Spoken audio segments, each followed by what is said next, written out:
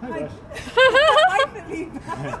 I'm Philippe from Paris. I am CF since three years and I am psychologist. I used to be psychologist for 20 years and then I choose to be a CF only since uh, 2015.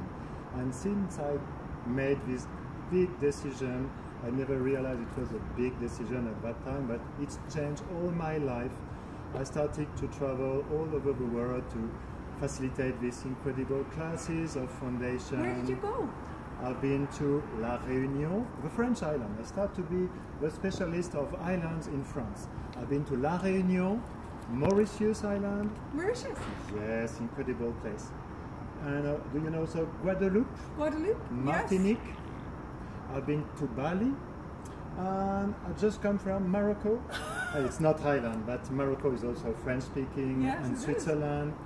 And really, I enjoy my life and I love facilitate. And during this foundation, Global Foundation with Gary and then all, I could get the energy back of all the people I facilitate all, in all the places in France and all over the world. In. It was like the energy was coming back into something. Wow! So You were receiving your contribution. really receiving and perceiving the level of transformation of all the people. So, oh my God! Wow, that's really uh, encoura- encouraging. Do we say this? It's it's amazing, encouraging. So I asked Philippe to make this video to actually what could he contribute to you as CFs, and what he's contributing to me is his willingness to choose and get out there. Now I've been in the room in Paris for four days, and I've seen the gratitude people have for him, walking Oh, up, you. hugging him, kissing him. He has also um, supported me to do a class here while I was Yeah. here and organised a host.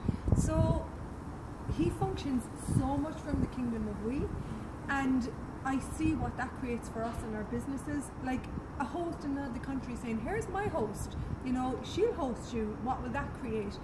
So you are just such an inspiration to me and we're, we're inspiring you guys. So just start by a choice and a question. So can I ask you one question Yes. before we finish? How did you create that class in Guadeloupe? Oh, in Guadeloupe. It was what I realized since maybe two, three years.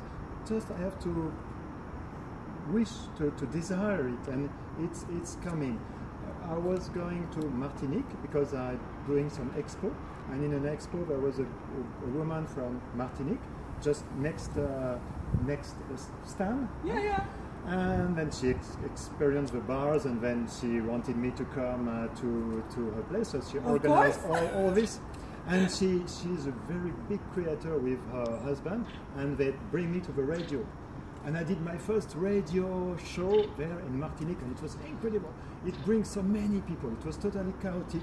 People were coming one hour later, and it was crazy. But so many people in the classes, it was incredible. So, because I was going to uh, Martinique, I decided to say, oh, to go to Guadeloupe because it's just uh, next step, mm, half an hour plane. And as soon as decided this, people from Guadeloupe started to come in my classes in Paris.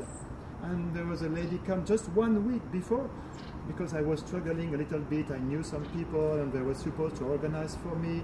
And they were finally doing nothing. And finally, one week before, there's a lady who come in my class and say, "Oh, I am a healer and I have a big place and you can come to my place." Okay, and the other Easy. piece, the- Easy. uh, easy for you. Yes. The other piece, just please acknowledge that. Yeah, Thank you. Yeah, really. so the other piece in this is he didn't ever give up. He actually kept choosing. Yes. Um, that story that he just told about Guadeloupe, no venue, you know, he didn't give up. He still continuously asked a question, and there there was no failure in that. There's only Yeah. awareness. So wow, thank you so Yeah, much for thank sharing that with us. How does it get any better? Thank you.